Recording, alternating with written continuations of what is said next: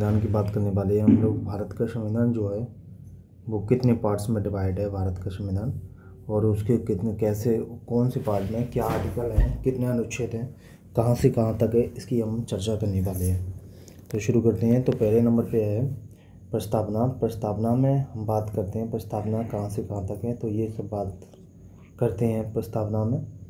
प्रस्तावना में जो प्रस्तावना जो है, वो किसी का भाग नहीं है। ठीक है, ना ही उसमें कोई अनुच्छेद है। पहला पार्ट तो प्रस्तावना का है। दूसरा है संग्रह क्षेत्र का। संग्रह क्षेत्र में भाग एक में आता है, एक से चार तक, और उसके बाद आता है संग्रह क्षेत्र के बाद तीसरे नंबर पे आता है मूल अधिकार। मूल अधिकार जो है, मूल अधिकार संग्रह क्षेत्र में आता है, एक से चार तक भाग एक, फिर आती है नागरिकता, दो नंबर पे भाग दो में पाँच से ग्यारह, फिर आता है मूल अधिकार, भाग तीन भाग तीन पाँच से बारह से पंद्रह फिर आता है राज्य की नीति नीति सिद्धांत, छत्तीस से इक्यावन।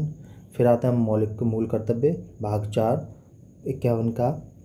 संग्रह क्षेत्र आता है भाग पाँच में, बावन से एक सौ इक्यावन। राज्य आता है छः पे भाग भाग छः एक सौ बावन से दो सौ सैंतीस। पहली अनुसूची के भाग खा के राज्य भाग सात में आते हैं और दो सौ अड़तीस अनुच्छेद। संग्रह क्षेत्र आता है भाग नौ, दो सौ उनतालीस से दो सौ बयालीस। पंचायत आता है भाग नौ दो सौ तैंतालीस से दो सौ तैंतालीस हड़ा।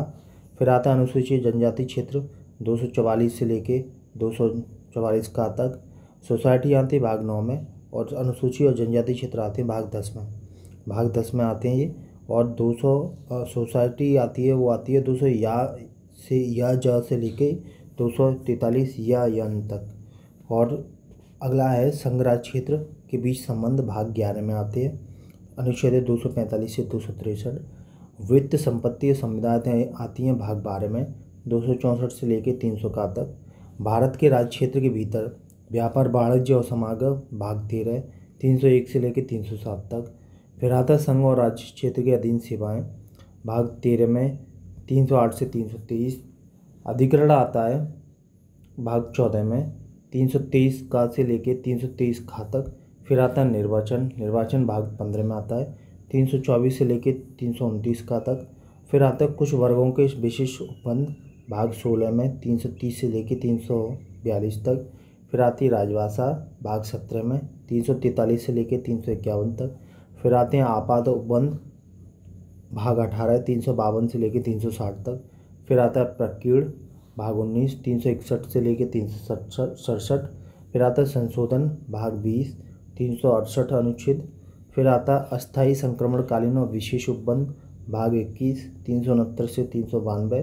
फिर आता है संक्षिप्त नाम, प्रारंभ, हिंदी में प्राधिकृत पाठ, निरसन, भाग बाईस, तीन सौ तिरानवे से तीन सौ पचानवे। फिर आती हैं अनुसूचियाँ, एक से लेकर बारह तक, फिर आता परिशिष्ट। तो इस तरीके से इंडियन कॉन्स्टिट्यूशन के बारे में ये शॉर्ट डिटेल्स है। फिर से, फिर एक नई वीडियो के साथ हम मिलते हैं।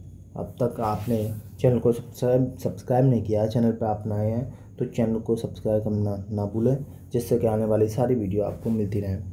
अपने दोस्तों के साथ, अपने फ्रेंड्स के साथ इसको शेयर कीजिए और ज़्यादा से ज़्यादा आप इसको अपने दोस्तों के साथ शेयर करें, जिससे कि उनको भी इसका लाभ मिल सके। नमस्कार।